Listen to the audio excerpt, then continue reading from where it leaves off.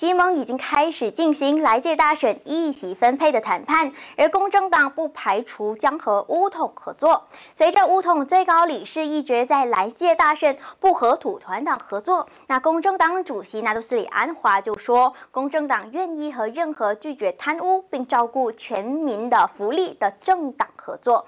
那他表示，公正党将强化竞选机器，拒绝暴行和背叛。他说，目前尚未出现任何与政党合作的问题。那只要能够接受公正党理念的人，都能够和公正党同在。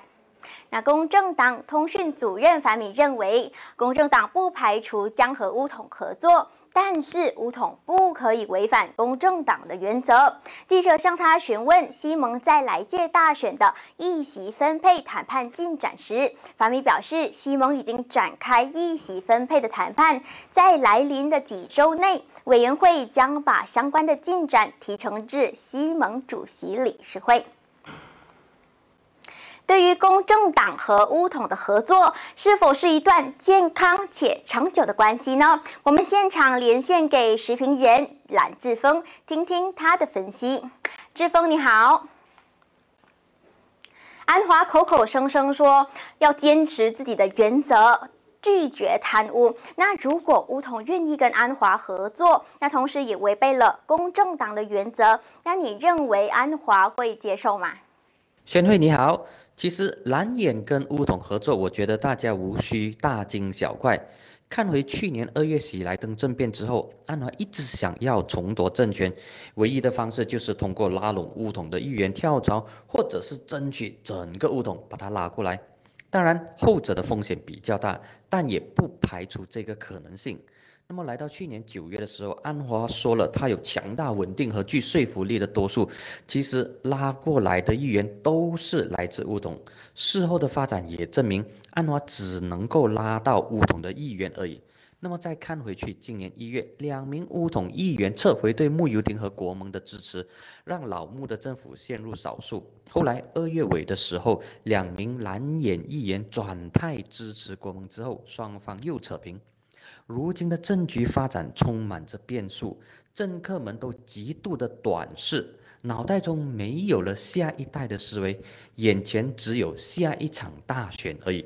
这就是政客和政治家最大的分别。当朝野政党都把目标放在下一场选举的时候，再加上难以预测的局势发展，政党之间的合作就变得了非常重要。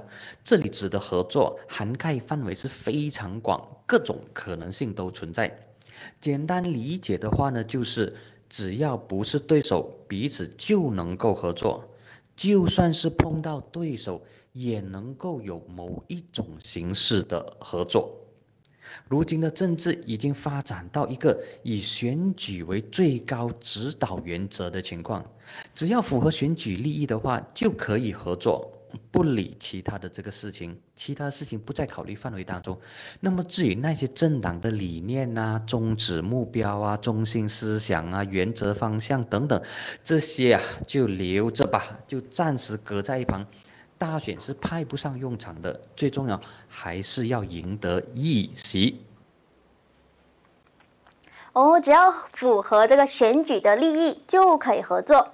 但是合作归合作嘛，人民是不是能够接受，又是另外一个问题。人民对于这种立场不坚定，甚至是合作关系好像肉地着那样翻来翻去的政党，难免都会有一些抗拒。那想问说，在这场合作可以怎么样去赢得选民的心呢？志峰，我们再来看看之前的，不说远的，就拿这五年来。